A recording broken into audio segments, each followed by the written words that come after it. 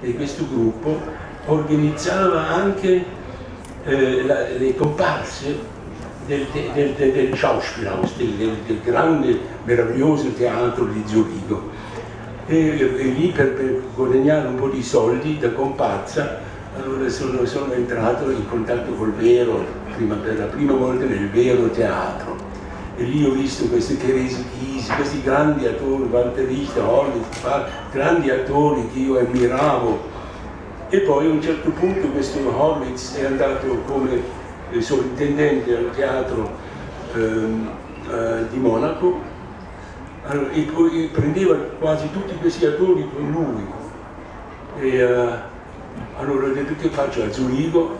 Allora vado a Monaco come loro e volevo anche continuare i miei studi all'università, però e poi adesso c'è anche io allora ho chiamato il caso, per caso ho fatto questo, per caso cercando una stanza, un, un alloggio per il semestre, sono passato dall'Accademia, la famosa Falkenberg Schule di Monaco.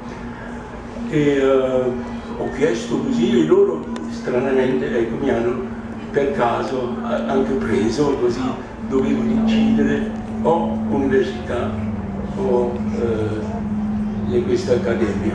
E io mi sono deciso a fare l'accademia la, di teatro e lì ho cominciato molto presto, ho fatto piccole parti, cose, poi già, dopo un anno ho già fatto il primo film 0815 era un film sulla guerra, la rivolta del soldato Ash.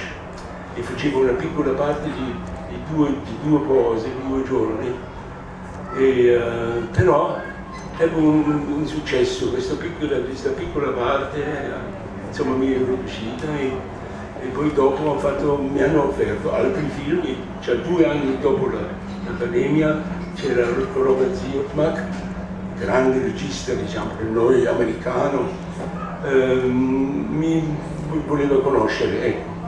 E così è nato eh, poi eh, il primo film eh, importante, questo Nachts in der Teufelkamp, eh, eh, come si chiamava? Ordine segreto del Terzo Reich, in italiano.